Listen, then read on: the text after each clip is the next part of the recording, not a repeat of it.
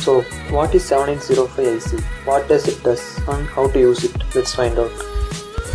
So, the 7805 IC is a linear voltage regulator, which means you can get a regulated voltage at the output if given an input supply within the specified range. As you can see, it has three pins, input, ground and output. With the pins 1 and 2, you can able to give the input voltage to the IC and with 2 and 3, you can get the regulator voltage as an output.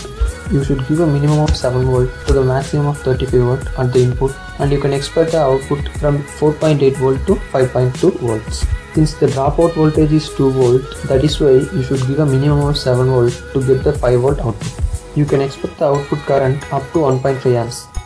Note this formula as it is important in determining the heat generated by the IC. It is always important to know how much heat has been generated by your IC as the IC will work properly from 0 degree Celsius to 125 degree Celsius. After that, it will automatically shut down itself to reduce the temperature and starts the regulation once again. To avoid that, it is recommended to use a heat sink. So one thing you should know while using these linear voltage regulator ICs is that they are very inefficient, which means the higher the input voltage, the lower their efficiency. I have hooked the IC to the breadboard to show you how it will work and I have supplied the voltage that needs to be regulated to the pins 1 and 2 of the IC. I have clipped these wires to the multimeter to show you how much voltage has been applied to the IC and how much we can expect from the IC. Since the IC can handle any voltages from 7 volts to 35 volts, I have supplied it with 12 volts at the input.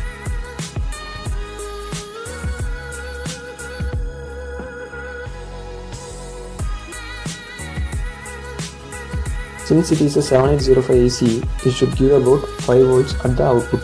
Just as expected, about 4.9 volts is obtained at the output. Let me give you a clear view to know how input is applied and how I have used the multimeter to determine the output voltage from the IC. Keep in mind that you should use a capacitor for the filtering purpose at the input and the output of the IC in any circuits.